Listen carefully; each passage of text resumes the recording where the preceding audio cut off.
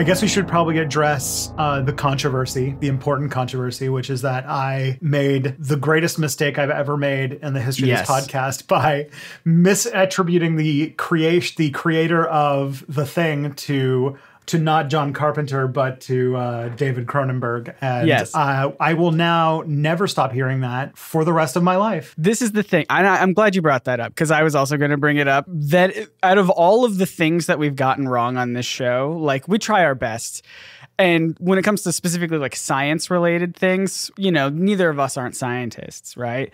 So we've definitely got some stuff wrong before. However, nothing has made the audience more upset than when you said David Cronenberg's The Thing instead of John Carpenter's The Thing. And you said it so confidently that I just rolled with it. I was like, maybe Tristan's right.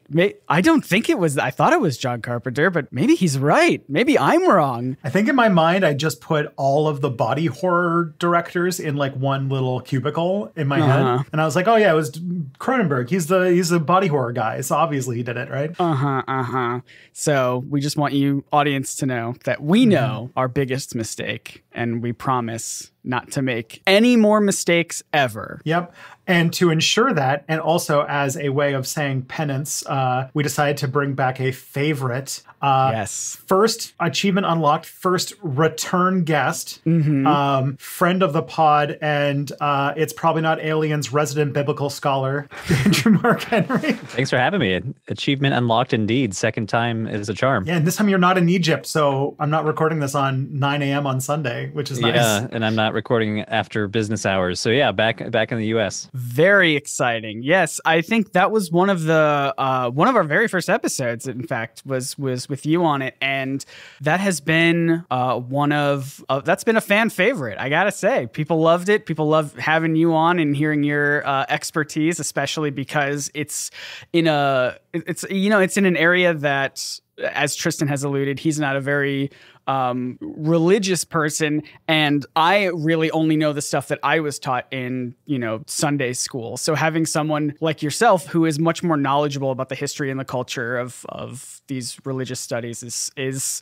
uh, extremely helpful as we make our pledge to never get anything wrong ever again. Right. Yeah. Well, the, the great thing about religious studies is I say this all the time that you don't need to be a Christian or atheist or pagan or whatever to study your religion. It's just an interesting topic in its own right that you can approach from any perspective. So, yeah. Absolutely. So yeah, uh, so responding to that flood of comments we got about the thing, Uh huh. um, yeah, I'm using this one. Um, we're today talking about the flood. You know, you know all those like you know su- those like um, happy Sunday school pictures of all of the animals two by two going on the ship while Yeah. God smilingly commits mass genocide. We're doing that one today. Save some animals. Uh, we we're going to be doing the one where a person has been cursed for all time because he made fun of his dad for getting drunk and passing out naked.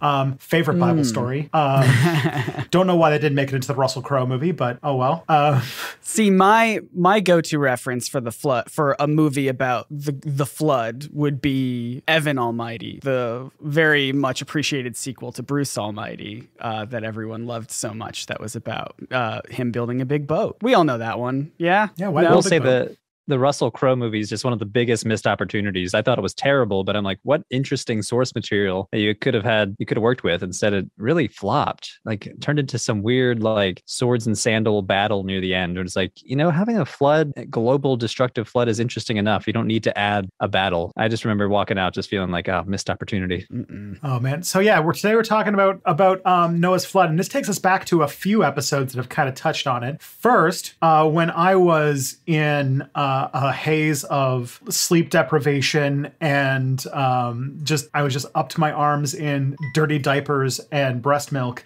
Um, you did an episode where you uh, talked about weather and sure the did. idea of aliens having advanced super weather machines. Yes. Uh, long story short, ancient aliens said that big storms, all big weather events, are actually caused by aliens, even in the modern day. So. Uh, we took that one and we examined it, and uh, well, you know, you can come up to your own conclusion with that one, but uh, I don't know if we were especially convinced. Yeah, and so I came through all of those and went on some tangents to realize I, I tried to look at like historical stuff that they then blamed this uh, weather control stuff on. And uh, the topic of this and the next episode of this podcast are basically famous historical cases, hi- historical cases where um, aliens supposedly used their their uh, you know Doctor Death's weather machine to uh, to create a flood that will destroy the world. Um, And this also makes a reference to another uh, sort of like side alien UFO era conspiracy where we were talking about with Trey about the Nephilim Yes. and about these sort of like angel hybrid people. And we go into another side UFO theory when talking about the um, the whole theory that the Anunnaki are here for Earth gold, that delicious Earth gold. Yeah, they need Earth Gold specifically. Yeah. Um, so all of these have as part of their mythos the the the Great Flood, a a, a Yeah. flood that douses the entire world in water. Um, for example, uh, in the Bible, if you take a very literalist idea of the Bible, the Nephilim are the product of angels, angels, or as we call them, celestial beings, i.e., space aliens Aliens. uh, yeah. somehow reproducing with humans. Um, don't talk about genetics here. We don't know how that works. But then creating giants called the Nephilim that God hates so much that he decides to drown the whole world in order to wipe them out. That's sort of the that's the one argument here. Uh-huh. Um, and then in the Anunnaki story, we have uh, the discussion that for some, the the Anunnaki had to leave the Earth, and the reason why there are no more lizard people telling us what to do and telling us to enslaving us into mining gold Sure. uh, is because the the Great Flood happened. All the all the polar ice caps melted. Um, apparently, a few thousand years ahead of when they actually are going to melt, and Huh. that flooded the Earth, and so they had to leave, and that's why uh, the the Anunnaki aren't here, and they are not coming back until 2012 when the apocalypse comes, according to the creator of this. Yeah, any minute now they'll be here. They're running a tad late. We need to do an episode this December on the 10th anniversary of the end of the world. Oh, yes. That sounds like a great time. Hey, I'm going to call it really early in the episode. Uh, maybe subscribe to this podcast if you want to hear about more of that later this year. And also, um, so this is it's probably not aliens.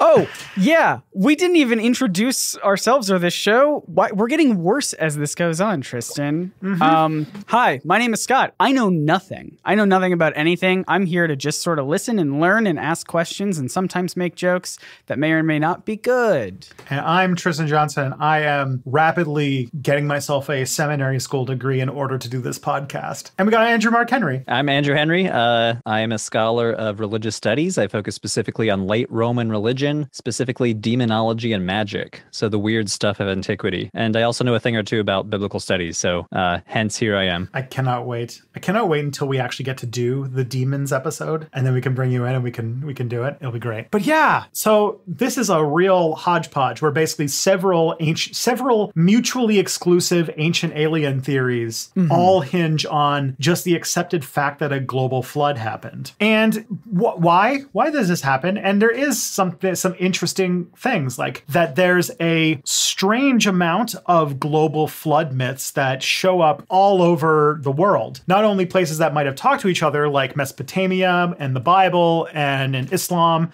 and even Hinduism, but there are global flood stories in China. There are global flood stories among the Norse and the Irish, uh, Polynesians, Maya people, uh, the, even the Ojibwe and some South American uh, nations have global flood myths. Uh, even goes as far as Aboriginal tribes in Australia. So this is Yeah. a remarkably common meme, and I mean that in the most like academic sense of a meme Yeah. in the human psyche, um, which I think is very fascinating and interesting mystery to solve. Yeah, why does it pop up all over the place? That's a big that's a good question. The answer might not surprise you, but first, why don't we go on a little short tour of how we got to the Bible flood? All right. Are we going on like a like a Gilligan's Island three hour tour. Yes, um, right. several thousand years more, but yeah, um, Cool. Because what happens is that the Bible's uh, Genesis's uh, flood story, in many of its key details, is sort of a copy of a copy of a copy of a copy from some very very ancient flood myths that come out of a region called Mesopotamia,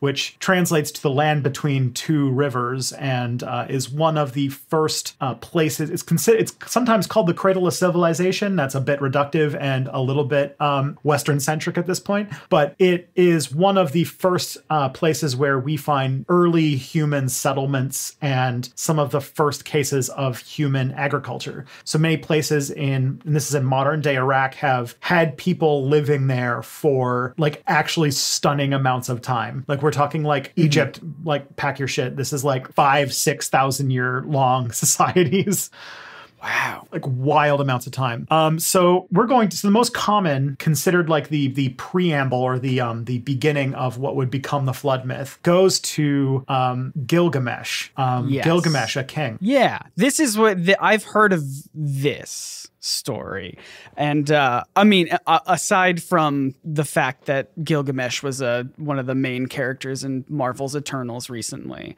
but even before then, this this name rings a bell, and this this story rings a bell in my head. You should, uh, because um, in some places, at least when I took a comic book class a long, long time ago, Gilgamesh was described as the first superhero. Yeah. Oh, that's probably, you know, I, I never put that together, but that is almost certainly why Jack Kirby specifically used Gilgamesh in the Eternals uh, for his superhero comic. Yeah. That makes sense. Yeah, it's it's an epic, which is just a series, uh, which is basically just a series of stories featuring one character, um, trying to Gilgamesh trying to find and his friend Enkidu trying to discover immortality, and they go on lots of fun adventures trying to do so. Um, the story of Gilgamesh kind of traces its origins to around, and this is how we're talking about how old it is, the 18th century BCE.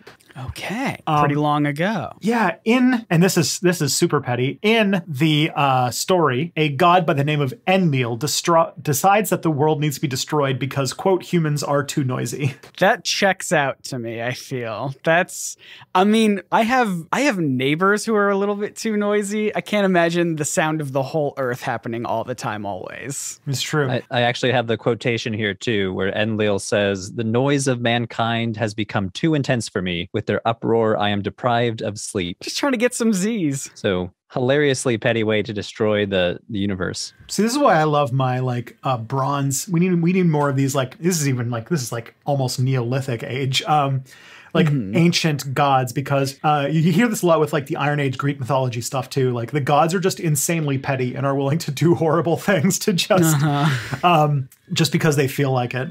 Um, so yeah, uh, Enlil thinks that we are terrible roommates on the planet. Um, Sure. And decides to uh, fix it by flooding the whole world, uh, like you do. Another entity named Enki warns a hero by the name of Utnapishtim and says that he should build a boat so that life on Earth can survive. And that that that feels very that feels very Noah-esque, does it not? Uh, does Yeah. Utnapishtim was he a proto Noah? I don't know. Yeah, I mean there are several. It seems like there are several proto Noahs, as it were. So the Mesopotamian flood narrative actually stems from three. There's like three versions we can speak of. So there's one that's a Sumerian version. Then there's two that are Akkadian, and Akkadian is this Semitic language uh, spoken in Babylon and by the Assyrians. Uh, so if you've ever seen cuneiform tablets, that's Akkadian um, more often than not. So the Sumerian flood story, it's written on a, a tablet that two thirds of the tablet are missing. So we really don't really know the context of the flood story. We're kind of just thrown into the middle of the narrative. But here, the proto Noah is a king named Ziusudra, uh, and he's called upon to build a boat, save the animals, and the seed of mankind. Uh, and Ziusudra means he of long life.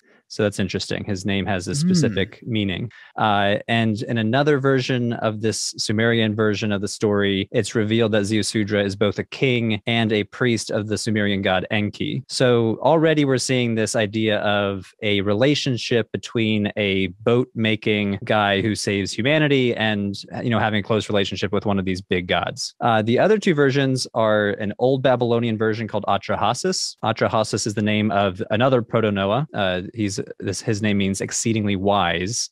Uh, and this probably dates to the 18th century BCE, uh, but obviously these Mesopotamian flood stories they stretch back way more than the 18th century. So you know, floods flood narratives don't really start popping up until around 2000 BCE, at least as we have the evidence. Um, but we can assume that these stories stretch back further. Uh, and this is the this is Atrahasis is the hilarious one where Enlil is like, "Hey, humanity is too loud. I can't sleep." And the the real problem is overpopulation. Like for whatever reason, he seems very concerned about mm. human overpopulation and he tries several times. First, he sends a plague, uh, but the god Ea thwarts it, you know, saves humanity from the plague. Then he tries to send, I forget the second, he tries to send another way to kill them that fails. And then finally, he sends a flood, which mostly works, but Atrahasis builds an ark, saves mm. humanity and animals, and him and his family are granted eternal life. So it's like, thank you for saving everybody. You get eternal life. But now uh, the gods kind of put on strictures to humanity. It's like, now we're going to have infertility and child mortality mortality to help keep population down. Oh, that's um, a bummer. It's kind of a bummer. So it's, it's, it's interesting that at least in the Atrahasis epic, there's like this real concern about uh, overpopulation. And when I think about like somebody writing this in Babylon in 1800 BCE, you can imagine like what urban living would have been like. So I, I'm just thinking like yeah, uh, squalid urban living in 1800 BCE to be to underlie the the concerns of this text. But I don't know if I'm off basis on that. Yeah, don't uh, Enlil um, seems like a, uh, a Bill Gates of his time uh, who wants to reduce the human population by a huge amount. That's a bad story. Um, but yeah, this is it's a it's a big it's a big story. It shows up over and over again in Mesopotamia, and as we know, a lot of civilizations surround the sort of Mesopotamian region, and so a lot of further civilizations uh, picked up on it. Uh, one example would be the Satapatha Brahmana, which is uh, the story. It's a story uh, very similar, which comes from the Vedas, which are sort of like the holy texts of of Hinduism. Um, this one comes from much much later, like over a thousand years later, in the sixth century BC. BCE, uh, and features uh, Matsya, which is the the fish avatar of Vishnu. Hmm. And uh, Vishnu appears to a person named Manu, which in the Vedas is sort of a reference to a generic person. Manu is sort of the the uh, the Sanskrit word for like man or person. Just a guy just a little boy. Yeah. yeah. And so Matsya, the the avatar, uh, warns him of the deluge, and they uh, this this man builds a giant boat. Um, Matsya then grows to a humongous size and guides the ship to safety on the peak of a mountain, which also shows up in the Noah story, if I remember correctly. Yeah, that uh, that's why they're always looking for the ark on mountains, right? And that uh, they then use the Vedic sacrificial rites to repopulate the earth after the flood or to reestablish life. So there's a lot of like similar beats going on here, and this is a story story out of India. So this yeah. shows just how it, it traveled a lot. Um, then in Greece, you've got the story of Timaeus. This is in the this is in 360 BCE, and it's a story about how um, humans anger Zeus because, and this is this is ironic as hell because Zeus, uh-huh. uh, but Zeus gets mad at humans for doing all these wars. They don't like how violent humans are. Uh, so Zeus is like, I'm gonna flood the world. I guess Poseidon was busy. I don't know. Feels like a better person to fit that story, but whatever. Uh, but then humanity gets warned by the ever so tricky Titan Prometheus, and uh, after nine days and, uh, and night, or after nine days and nights, uh, Timaeus builds an ark, get world saved, mountain happens all over again. It's all the same. Furthermore, yeah, uh, these sort of descendants of those Mesopotamians, uh, the Zoroastrians, would also have a very similar story, um, which is through the entity named uh, Ahriman, who uses a drought to destroy the world instead. Oh, a, kind of an opposite thing. yes, the inverse flood. Yeah. Well, well, here, here's the thing, and this is why this is what's interesting is because um, Zoroastrianism is very preoccupied with dualism, and so the oh. idea of like an anti-flood actually kind of fits the thing. And it's done. Uh, Ahriman is like this Zoroastrian um, like spirit of destruction and evilness, mm-hmm. and consider like basically the main adversary. Like if I were to say this is like the the beta concept of Satan, uh, wouldn't be the most far off thing because Zoroastrianism, um, ha- there's a lot of fun Zoroastrian clues in the Bible. Um, like, did you know that the Zoroastrians have a, a savior god that represents the sun and has 12 disciples that are represented by the 12 zodiacs or whatever? I'm not sure about that. Maybe there is, but I know that the idea of uh, Satan possibly draws influence from the Zoroastrians. So, you know, the Judahites, the southern kingdom of Judah was taken into uh, exile in into Babylon, and then then when the Persian Empire takes over, you know, a lot of J- Judahite the- theologians came into contact with Zoroastrian theologians. So later on in Second Temple Judaism, we start seeing uh, the concept of a kind of quintessential evil being named Satan, who's largely absent from the he- Hebrew Bible. You know, there is a Hasatan, the Satan, who appears in the book of Job, but he seems more to be like a more ambiguous person. And Hasatan is more of a job title. He's the adversary in the divine council of God. So there seems to be some importation of Zoroastrian ideas into Second Temple Judaism. We see this especially in the Dead Sea Scrolls as well. Yeah. Um, to kind of finish out the story, so that drought happens, but then Mithra, the which is the, the important, uh, very up there god in the Zoroastrian uh, sort of story, Okay. um, shoots an arrow into a rock, which somehow creates a flood um, because a spring comes out and basically floods the world. And one man survives, building an ark filled with his cattle. so just one animal, just one kind of animal anymore. Mm-hmm. It's hard to say God. Uh, ref- the, the stuff I looked up said that Mithra is more referred to as a quote divinity. Uh, the word is Yazata, which you know I don't think has a perfect translation into English, so that's probably why. But you know, um, so there you go. You have drought followed by flood, followed by uh, the story. So uh, yeah, Zoroastrian, and, and and this makes a lot of sense because basically the Zoroastrians were made up of a lot of the descendants of those ancient Babylonians and Akkadians and and such. Yeah. Yeah, I always find myself a little. I, I wrestle with this idea of influence across civilization because obviously there's, you know, like Indo European languages, for example, there's obvious connections stretching across Europe and Asia. Uh, similar words for like a word for God, you know, Deus, uh, the same word for mother appears in all these different Indo European uh, languages. So there's definitely definitely like a con- continuity.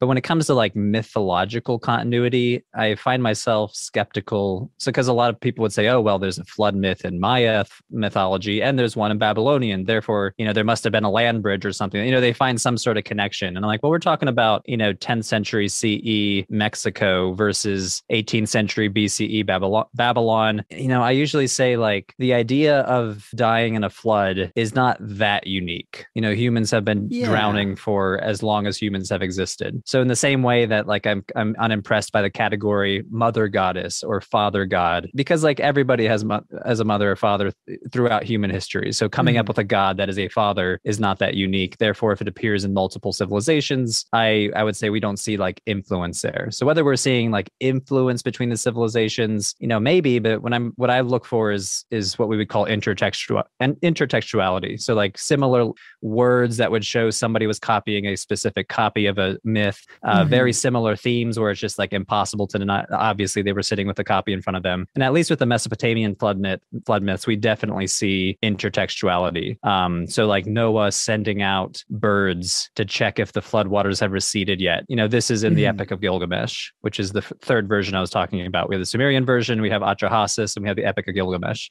Uh, and Utnapishtim in the Epic of Gilgamesh sends out birds to check if the flood waters, waters have receded. I think that the word for pitch or bitumen, like the tar that Noah puts on the ark, both on the inside and outside, that same word appears in the Epic of Gilgamesh. So, so there's like literal intertextuality there. So yeah, Mesopotamian flood myths, 100%. We see influence drawing from the same cultural waters, as it were. Uh, other examples, I'm not sure. You know, it's it's plausible, but um, it the connection's more thematic than it is like specific narrative beats that we see borrowed in the Hebrew Bible. Yeah, fair. The only ones that I, I give credence to are the ones where um, they're from civilizations that I know had direct linguistic communication. Like like it wouldn't be far it wouldn't be far fetched to say that Mesopotamians and Greeks it's would have had uh, communication, or that Mesopotamians and uh, early like you know Indus Valley people would have had those kind of uh, same types of communications. Furthermore, yeah, you kind of hit on the other thing that these could be similar myths, and I I, I, I brought this up later. We could talk about it now though, um, which is that uh, a lot of what these civilizations have in common, especially the very early ones, is that they all developed on the banks of rivers, and rivers have this weird habit Yeah. of flooding. Um, so, like a lot of these uh, really old uh, river valley civilizations civilizations, um, they we have like archaeological evidence showing that flooding was a very common disaster that befell these people, and so Yeah, especially in Mesopotamia, like southern Mesopotamia was like ridiculously marshy. Um, it still is, as far as I know. I don't know if there's been like modern damming. I know the Tigris and Euphrates have less water now with damming up the up the river, but you know, yeah, the idea of Mesopotamia flooding back then, it just would have been flooding all the time. And actually, one of the narratives comes from the so-called Ark tablet, which is an old Babylonian tablet discovered by Irving Finkel, who's one of the top Assyriologists.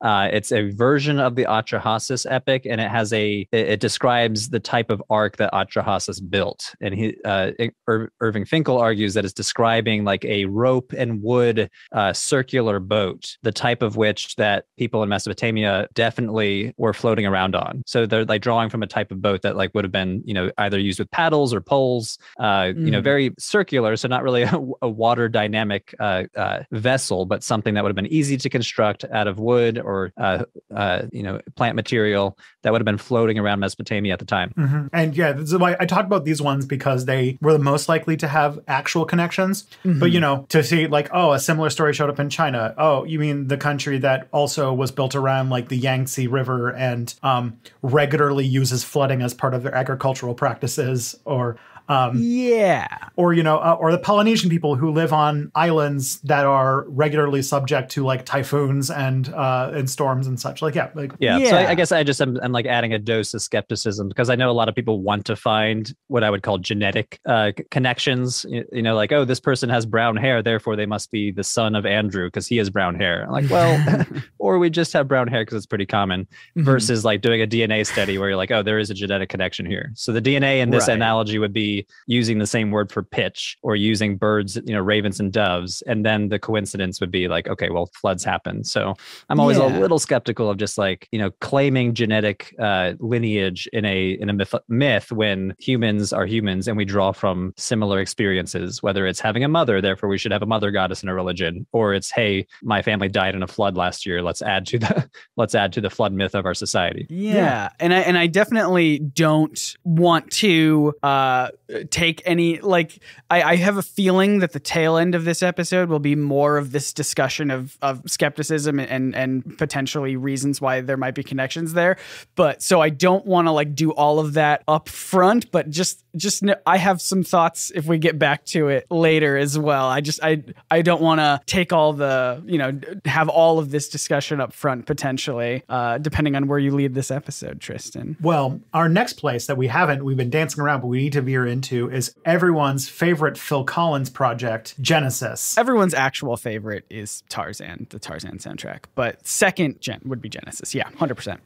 Um, so where does this flood show up in the Bible? Um, the part that it shows up is in chapters six through nine, nice, of the book of Genesis. You beat me to it. uh, both in the Hebrew Bible and the Christian Old Testament. So um, it's in it's in both canons. Actually, it's in all three because we'll talk about this in a little bit. But it's also in the Islamic canon. Um, basically, God is mad at humans. Um, like uh, you know, depending upon who your person is, because the Nephilim, because of all of the sinning we're doing, or Sure. um, depends upon what your Sunday school teacher wants you to feel bad about it that you're doing. Basically, Mine was that uh, we were disobeying our parents too much. That that's that's what they told us. That's not a joke. That's just what I was actually taught Oh. as a, as a way to get us to listen to our parents more. That's terrifying. But yeah, basically, God decides that Earth needs to go back to its pre creation state uh, by using a state of watery chaos and basically just kind of unmake it. Um, which, you know, honestly, if I were to look at the world in its state today, I wouldn't be against um, global flood. I, I get it. Um, but and again, it, it has very strong, uh, very strong similarities to the Epic of Gilgamesh. But um, yeah, like it's it- it's a very similar story. Um, got like uh, Noah gets chosen to be the person to sort of reboot humanity after they do a sort of soft reboot of of humans. Um, he builds an ark, gets two of each kind of animal. Very important to mention each kind uh, because uh, when you get into young Earth creationism, that becomes quite a thing. And f- after I believe 40 days uh, of, of flooding, 40 days the and 40 waters nights. recede and the the ark lands on a mountain. Uh, the waters recede, a rainbow shows up, and God says, "All right, I promise to never do that again. Um, but be good." Yeah. There are interesting themes to look at here too. So I mentioned earlier, notice how there's a relationship between the man and the god in the other versions I mentioned. So the Sumerian version uh, in the Atrahasis, you know, Atrahasis has a relationship with Ea. Um, and in the Atrahasis epic, en- Enlil causes the flood and it's viewed as a wicked thing. You know, the gods are kind of are upset that Enlil did this. And the text explicitly says a wicked deed that Enlil has just done. But Yahweh in the Hebrew Bible is not portrayed wickedly. He's portrayed as just. Like this is something he needs to do because humanity's sin has become so depraved. So the text says that the Lord said, I will blot out from the earth the human beings I've created. I am sorry that I have made them. So like Oof. they have become Oof. so depraved, he regrets it. And so this is why he d- you know decides to Yeah. destroy the earth in a flood. So interesting like recontextualize like how it recontextualizes the um the decision that the god has made. You know, Enlil is doing something Yeah. wicked, Yahweh is doing something necessary and just. So that's super interesting.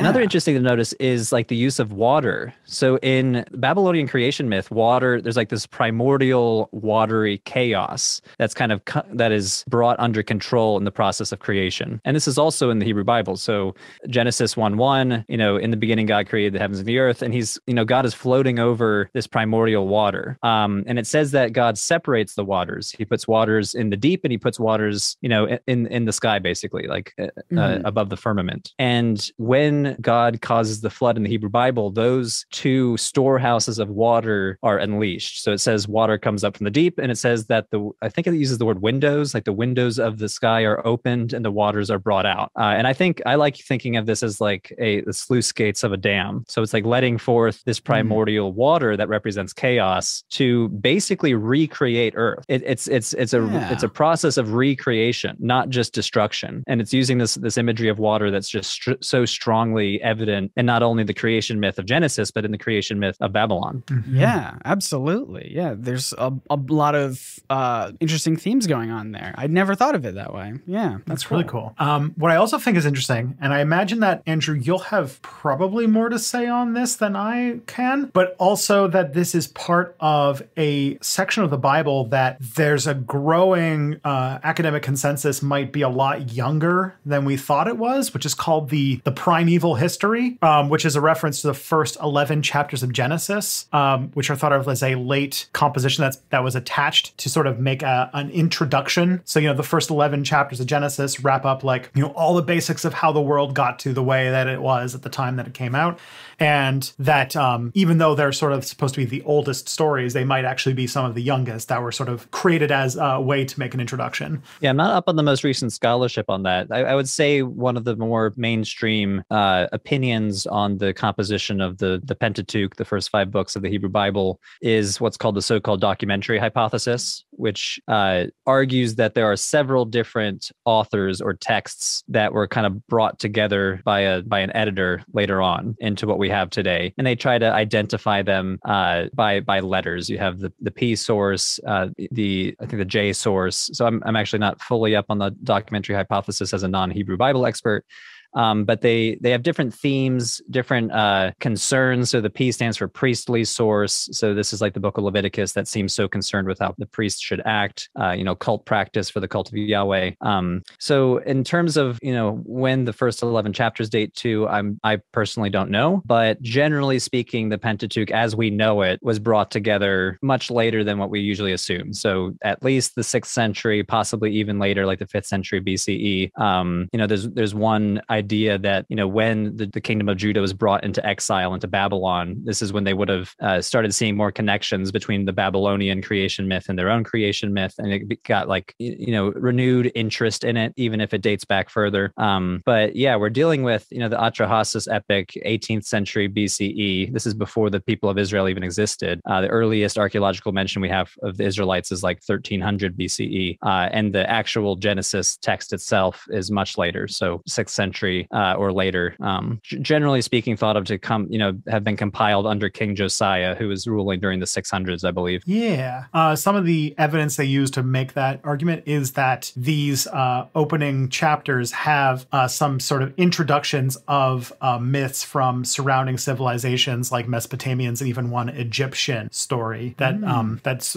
including the Great Flood as part of it. You know, you've got you got the Adam and Eve, you got the first murder um, with uh, what's it called, uh, Cain and Abel, Cain Big and Abel. Rock. How, how how move Big Rock, kill brother. Um, and yeah, then you've got yeah the destruction of the world, um, and the new humanity that goes through, and the, and then history ends with the Terah, the father of Abraham, and Abraham is sort of the the, the opening act, I guess, mm-hmm. as the sort of beginning of you know the the beginning of is of the Israel of Israel and uh, the um, in Judea and everything like that. Yeah. I just, this is only tangentially related, but I just want to throw this out there into the world. Um, I would love like a true crime podcast uh, or mockumentary sort of thing about Cain and Abel. Like that would be very funny to me to to to take it very take that whole story very seriously uh, in in the modern like uh, stylings of like a true crime podcast, but just in this it, just about the story of those two. I don't know why. I just think that would be fun. Wanted to throw that out into the world to see if anyone wants to make that for me. Thank you.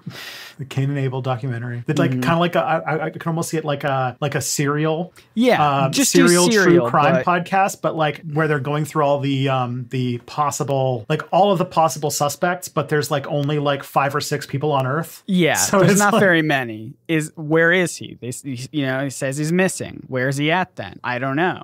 Yeah. Yeah. Um, the other thing too that kind of shows this like multiple authors thing is that there's a lot of strange details in the flood story. There's actually like contradictory details in the text.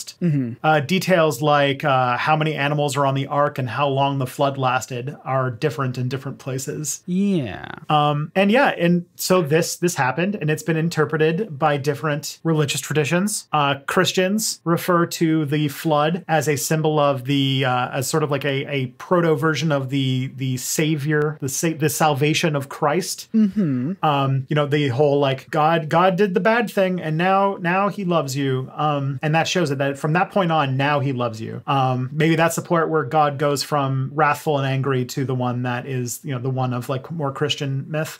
And then also in in the in the Quran, um, the the figure Nuh um, has a story very uh, has a very similar story to Noah, and except that he preaches Islam. So yeah, um, that's like the general idea of the Yeah. of the flood. So it's it's popped up all over the place. It's uh in all sorts of different uh you know periods of time all sorts of different cultures and civilizations. It's all over the place. So obviously the big the big question then is like is was it real was there really a, a global flood yeah what's the story here how how do we understand what was happening Well, was there a great flood, Scott and Yeah. Andrew? The answer will come right after Oh, no. these messages. ah all right see you in a bit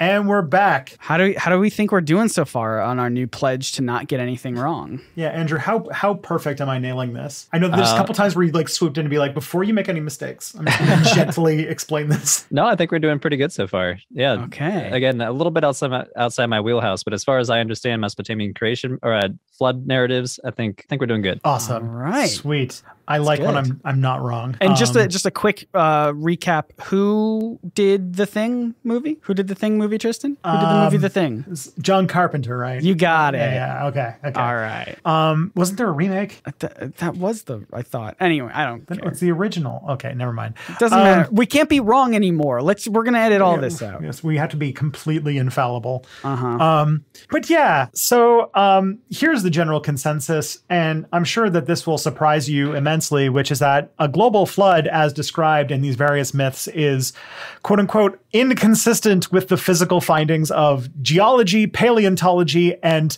the global distribution of species. Okay, so that sounds But yeah. here's what's interesting, and that is that Noah's flood and this whole story was kind of key to a very specific time in our history, in the history of science. And that uh, our understanding of the flood's role in history might have been like one of the first big cracks that led to the um, shattering of the common belief in biblical literalism. Okay, I'm intrigued. Continue. Sure. So, as, as recently as the 19th century, it was general consensus that the flood happened, literally. Bible says it, it's good. That's It's as far as you need to know. They wrote it down. uh, We, we, we, we, we're, we're doing good. But then pesky scientists start showing up and digging in the rocks. Hate when that happens. And unfortunately, when they dig in the rocks, they find interesting stuff like sediment layers Sure. and, and and and fossils, Mm-hmm. and realize that um, I don't remember the Bible saying anything about dinosaurs. That's a big one. Yeah. so there so there was this weird period in the 19th century where geologists were really starting to come into their own as a scientific um, endeavor and there was this equally strong movement well i don't know about equally strong but there was a very pronounced uh, movement of theologists working with some sort of rogue geologists trying to reinterpret everything that was being discovered by the geologists in order to reaffirm that the flood definitely happened guys Gotcha. I will say, I was taught eh, once again in Sunday school. I will just keep bringing up my memories of that. That the answer to the Bible not mentioning dinosaurs is that the Bible also does not mention giraffes. Um, but giraffes are prob uh, giraffes are also real and were probably around at the time. And so potentially, you know, people at the Bible times were just seeing dinosaurs all over the place, and it wasn't a big deal, and they didn't write about it because it was like, yeah, this is what happens. This is, these are dinosaurs. You say giraffes are real. I'm skeptical. I don't know if an animal with a neck that long is real. I think another argument brought out is that the book of Job mentions something called the behemoth and the leviathan. So Yeah. these two mythical beasts, as it were. Uh, and I've heard it argued uh, one of those is like a sauropod, like a like a apatosaurus, and the leviathan is obviously referring to a you know a T Rex or something like that. Yeah, So we they know of were at least two dinosaurs. they were At least all two. yeah. It was like Flintstones. They were just like dinosaurs are all over the place. Yeah. Yeah. And I mean, if you were to go into, we'll get into uh, young earth creationism, but that is generally the belief. Um, but basically, what the attempt to uh, fight against the growing consensus in geology came up against was basically just pointing at cases of glacial sediment where a lot of rock had been moved in relatively recent times because of the growing and I mean in in a geological sense very recent because a lot of stone got flattened by um, glaciers growing over them and then retreating as the ice age ended. Um, and then pointing at that and showing that as a sign of flood um, but uh, and that's why but but then in 1862 the really big breakthrough happened where a uh, geologist by the name of William Thomson uh, speculated that the date of the earth was probably between uh, 24 to 400 million years old, I- which is way younger than it is, but it's still way older than what people thought it was. As a point of clarification, and this is a silly question, but as a point of clarification, when you say between 24 to 400 million years old, that 24 also refers to million years old, right? Yes. It's not like it's between 24 years old and 400 million years old, right? Yeah. Okay. I just, silly question. You could start your own ar- argument and be like, I am the young, young Earth creationist. I'm the, Earth is only- extremely young. It wasn't around until I was here. Yeah, as far as I'm concerned. That's the solipsistic uh, young Earth creationism. That the Earth was created just when you were born. There you go. Um, but yeah, like I really want to put your your mind in the head of the people of this time. Think about this: you grow up in uh, a Christian in a, in a you know Western Christian society. You are taught that the Bible is pretty much a documentation of history. That the Earth, uh, that we have like you know that some scholars, biblical scholars, have looked at the Bible and they estimate that uh, the world's probably about six thousand years old. Um, you know that that makes sense following everything. Then people start finding very the bones of very large animals, and scientists start saying that the Earth is not only much older than, or not only older than six thousand years old, but is millions of years old. Hmm. Incomprehensible amounts of history and and time have have passed on this Earth. And when you have like a you know a, a, a religious worldview, how significant that could be. And so in some ways, it's uh it's um I, I can kind of empathize with the people who then went out of their way to try and fight back against this growing consensus, to, to cling on to a past um that that made more sense to them. You kind of this is kind of the same uh, urge you see in the growing flat Earth movement today. You know, people who uh, don't like this growing scientific understanding of the world and want to go back to something that was simpler and better to understand. I mean, yeah, it, it does. It definitely feels like uh, I don't know. It, I guess my problem is if the Earth was flat and you built a boat to save the humans in a flood, then you would for sure fall off of it, right? As far as I know, that is the that is the case. Yes. Okay, so I don't know if those are extremely compatible. They're playing. Valheim, Yeah. a game where you actually can sail off the edge of the world. Yeah. Okay. Okay. Um, the other issue that came up in not just geology, but in um, the study of species distribution. So this is actually a bit older, which is that uh, we had this idea that you know we knew all the animals, all the kinds, everything was you know connected, all came from Noah's flood. It was perfect. It was great. We did it, nailed it in one. Then we found out that the Americas existed, an entire set of continents that had no connection to uh, the old world for thousands of years. That had a completely uh, had a, a, a group of had people on it that had developed a completely parallel set of cultures and an entire different ecosystem made up of very different plants and animals.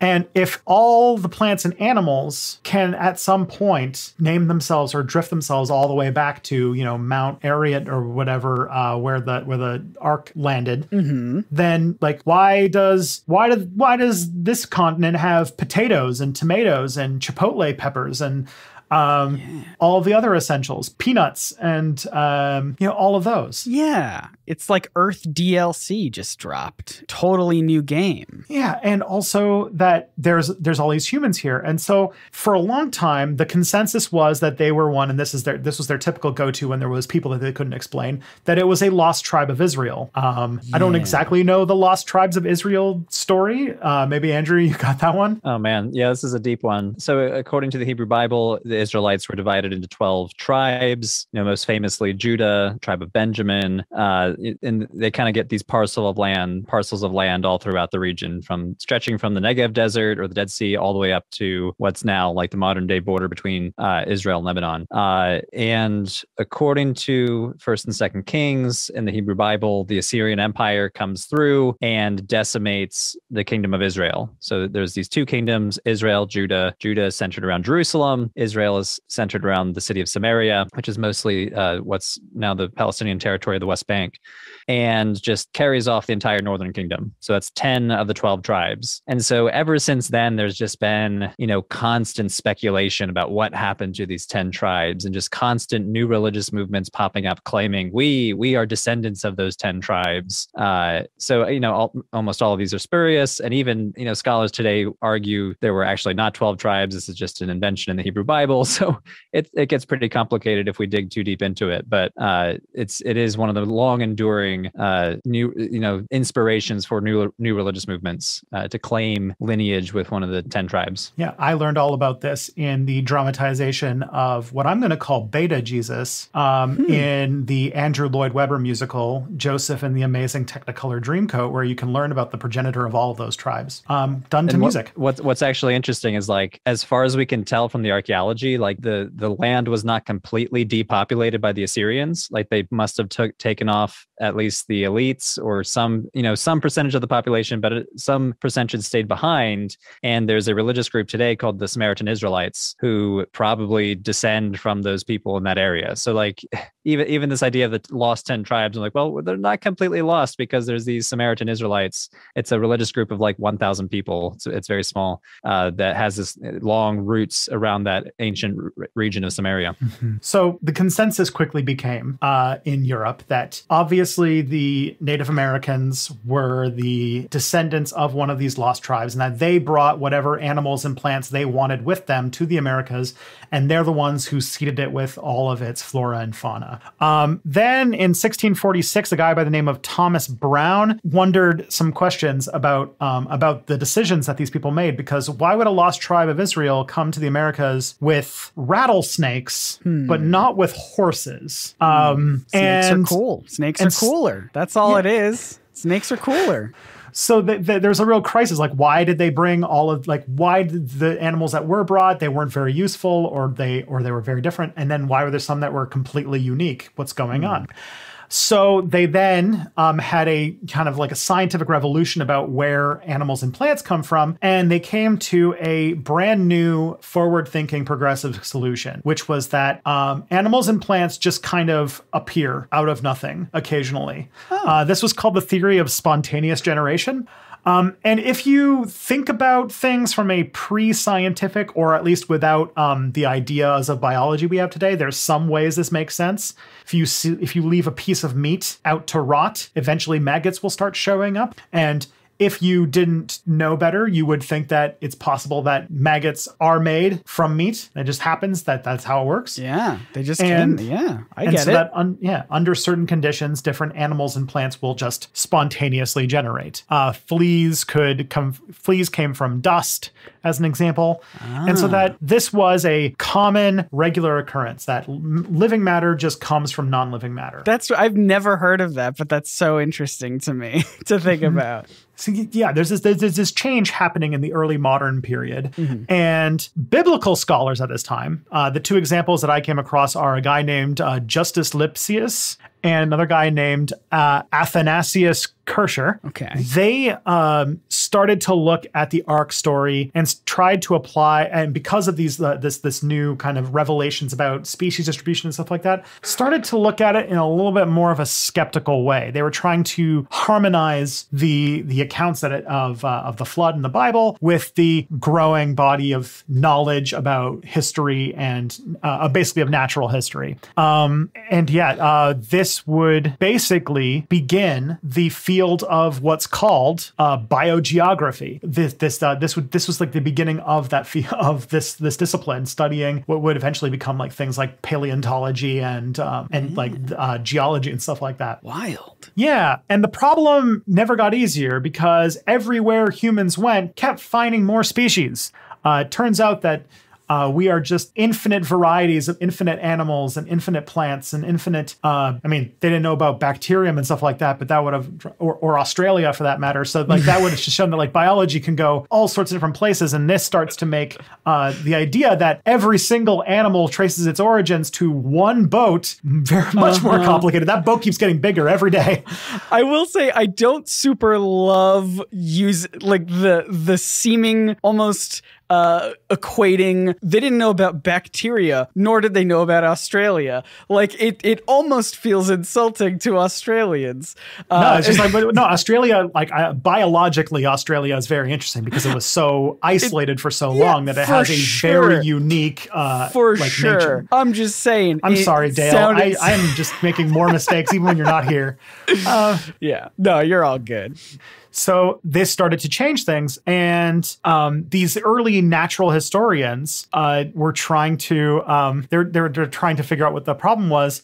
Uh, as more species were being discovered, we were trying to figure out how do they all fit on an ark. Uh, and this sort of changed the way that a lot of biblical scholars and these, these these sort of natural historians started to look at the story. And so by the time you got to the mid 18th century or so, a lot of these burgeoning natural historians were pretty much done with the idea of a literal interpretation of the biblical flood. Um, the the data was just not adding up. it was too tricky to put together. Yeah, it seems like it'd, it'd have to be a, quite a bit, a, a very big boat, a very big boat to fit all the animals on it. Yeah. Um, so in conclusion, there was probably not a flood. No flood means no aliens making a flood. So that's where we're at. But why so many floods? Why does this show up over and over again in different civilizations? Some that have very tenuous, if not zero contact with each other. Yeah, Um, we kind of because- touched on this earlier. Yeah. Many societies began life close to rivers. Uh-huh. Uh, and I don't know if you guys know anything about biology, but um, I've heard water is very good for, for life in general. Pretty and good. so we have developed our civilizations next to water for basically as long as we've had civilizations. Yeah, I'm a and fan. when you live next to bodies of water, as somebody who lives like two blocks from a river, I know uh, floods are a thing. It's a thing that happens. Oh, yeah. And um, yeah, like that's a- a- as Andrew, you basically said that floods are a general, generally accepted part of everyday life in any civilization that lives next to water. And before you know, before uh, we really started to tap into different types of water supplies and you know building aqueducts and stuff like that, most sufficiently large cities and civilizations had to be close to a water source.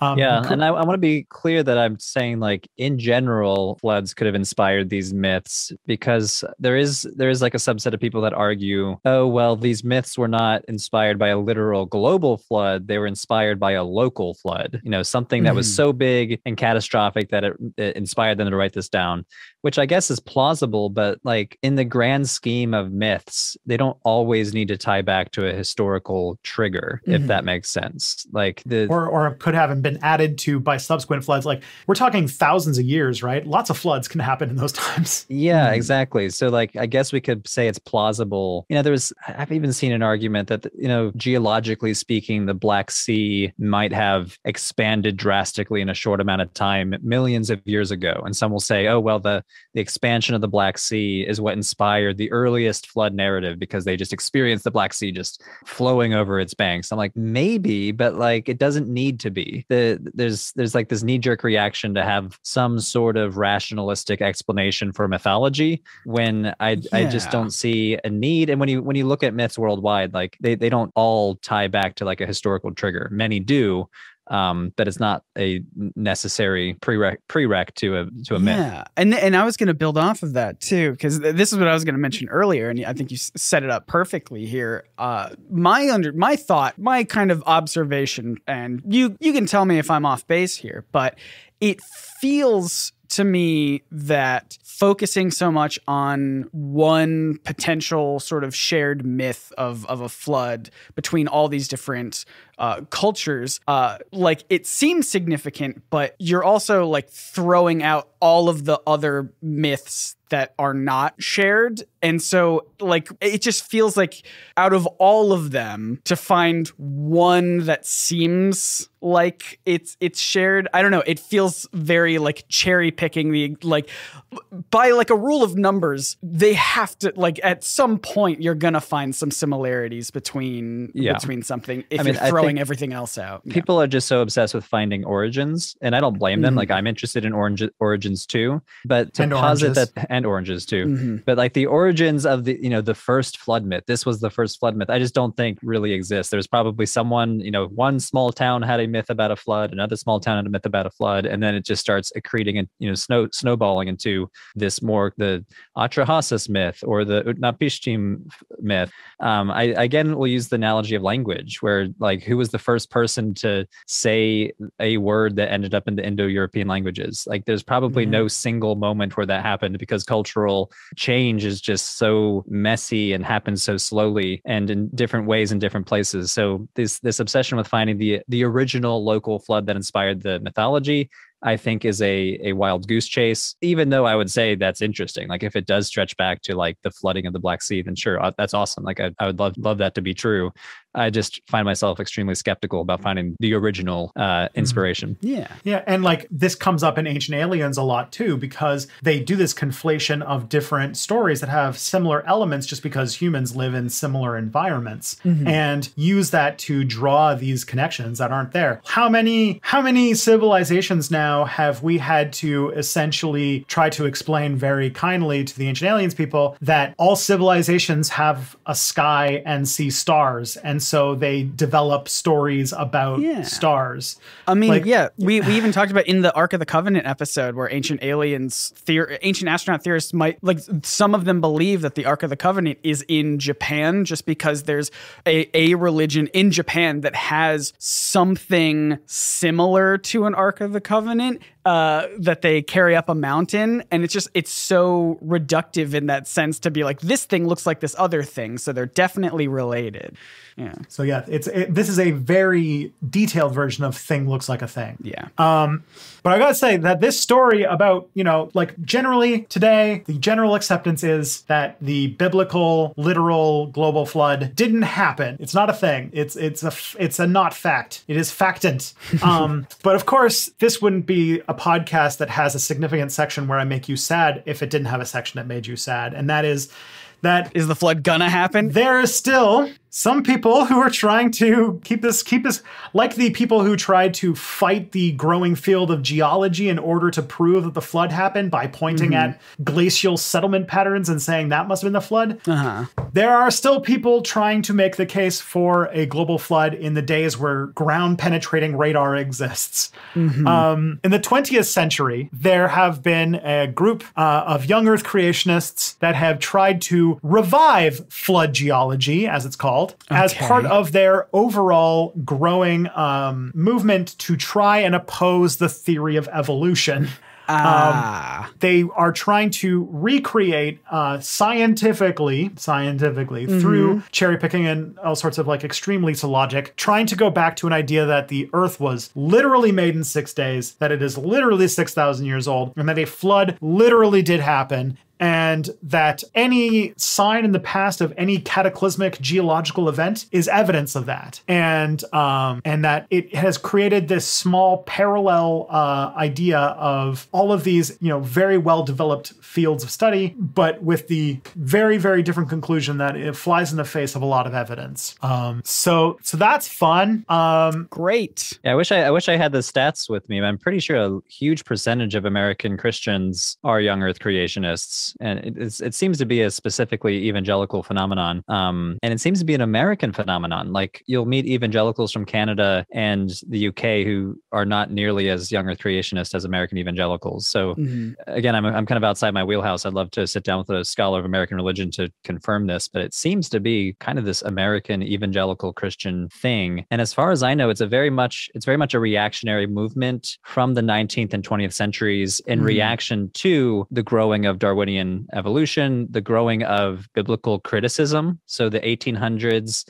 and the early uh, 20, 1900s uh, was a time of growing scholarship on the Bible. So this is when the documentary hypothesis was first hypothesized. Like, oh, the Pentateuch was not written by Moses; it was written by multiple different sources that were cobbled together.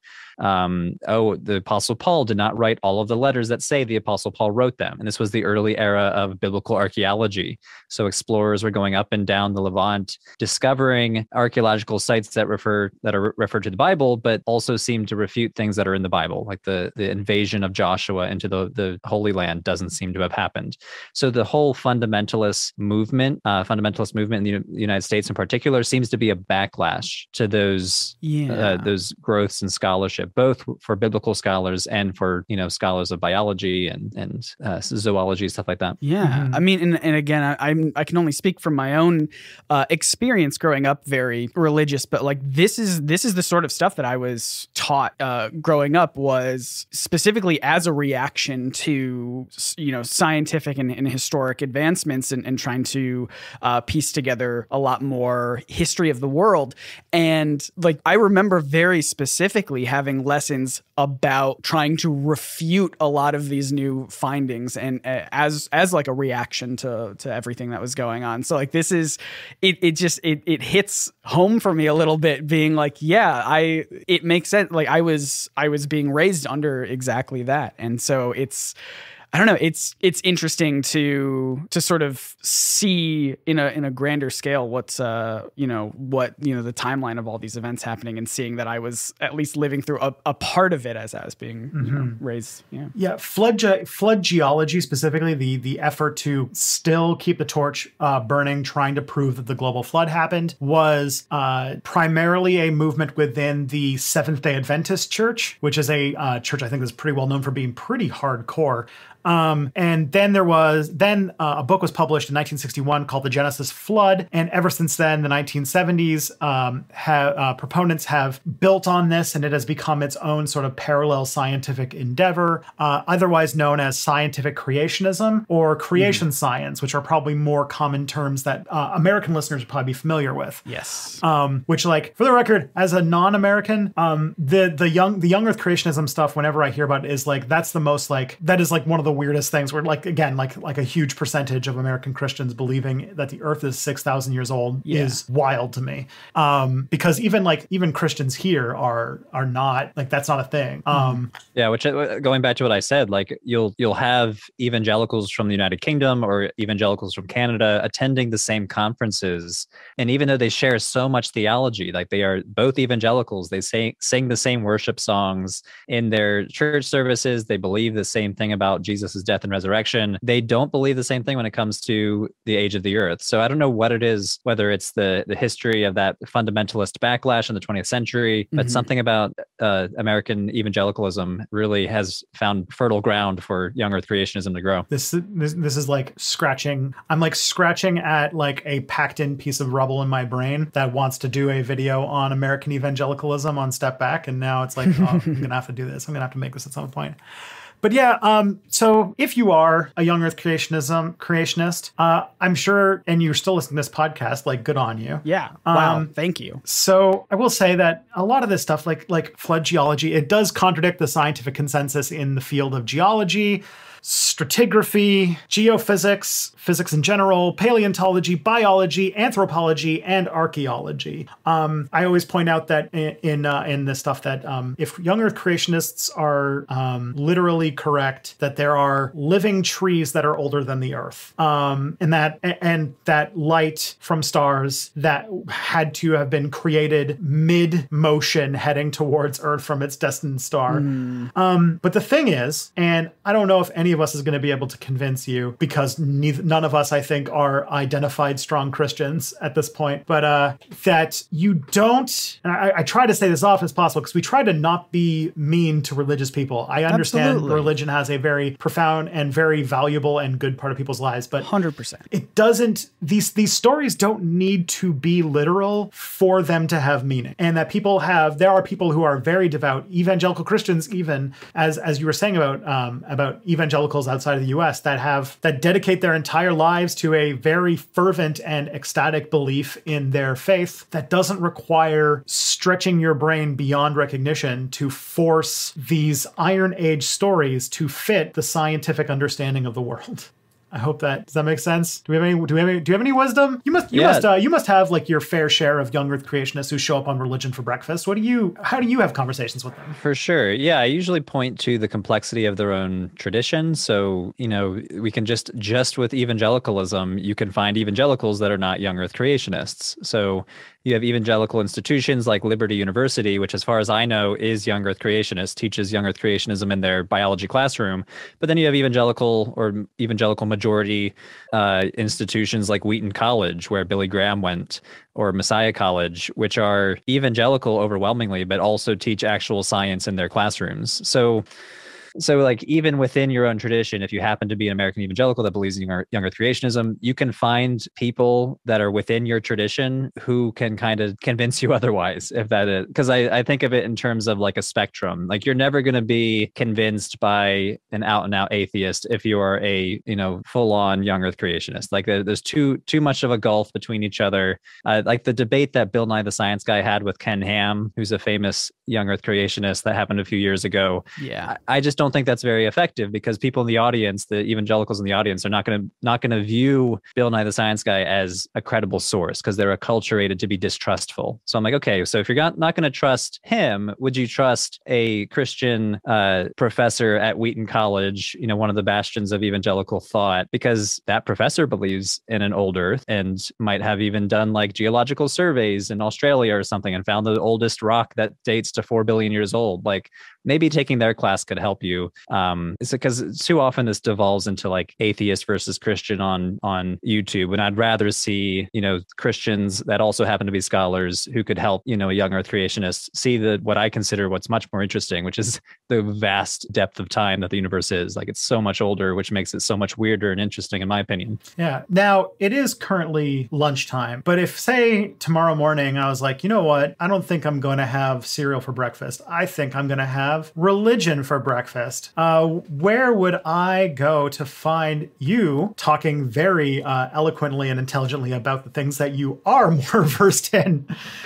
Sure. Yeah. So I'm mainly a YouTuber. You can go to youtube.com slash religion for breakfast. Uh, I like to think of it as the one stop shop for world religions. So if you want to learn about Islam or Buddhism or Christianity or ancient Egyptian religion or even more, you know, thematic topics like religion and politics or religion and the environment. Like head on over to Religion for Breakfast on YouTube. I'm also on Twitter and Instagram at Andrew Mark Henry. So if you want to keep up with me there, I'm also there. His stuff is very good and gets the uh, Yes. ultimate thumbs up from my mom, who's a big fan Yes. and always Awesome. wants me. well, Always, every time I see her, or every once in a while, she'll ask me if I've talked to you recently and if if, I'm, how you're doing and what your content's like. Yeah, and I guess I should say like I I come from the position of religious studies, which is the secular study of religion. We study religion as an aspect of human culture using the tools of history and anthropology and sociology and archaeology. So we're decidedly not a theological channel or what I would call a devotional channel. It's all about studying religion as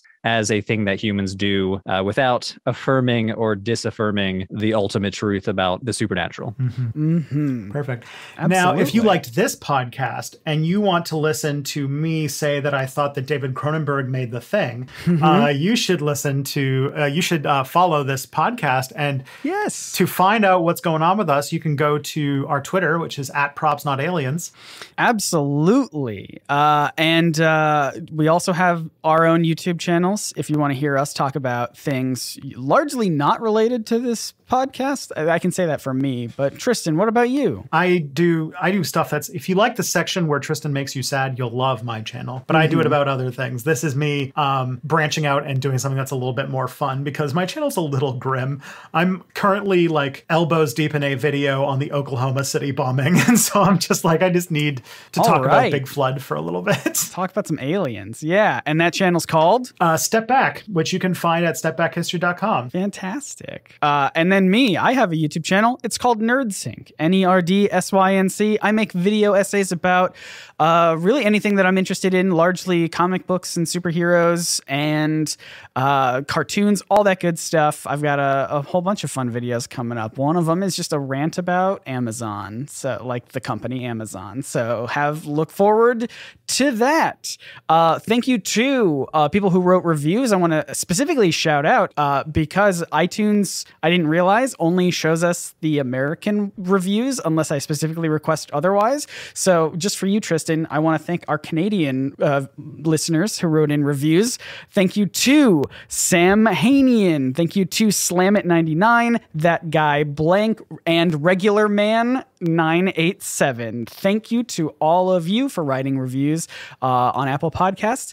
Uh, it's a fantastic way to show support for this show, as well as telling your friends. Tell your Yep. friends to listen to this show. Uh, Podcasts don't have recommendation algorithms, so Just keep uh, telling people Really, word of mouth is the only way that we grow. And the best, you can just send them to probsnotaliens.com. It's got all of the links to listen anywhere.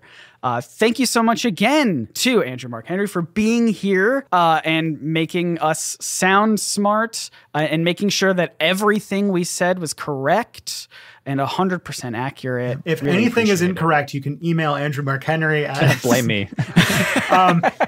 No, you should subscribe to Religion for Breakfast. It's Yes. genuinely like one of my favorite YouTube channels. Um, so, on that note, we are off, but the truth is out there. Probably.